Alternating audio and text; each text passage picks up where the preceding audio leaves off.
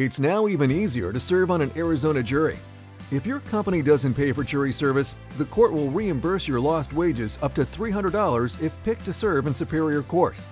So next time you see a jury summons in the mail, don't ignore it, or you could face a $500 fine. Remember, our courts are fair because you are there. Learn more at azcourts.gov slash jury service. This message is sponsored by the Arizona Supreme Court.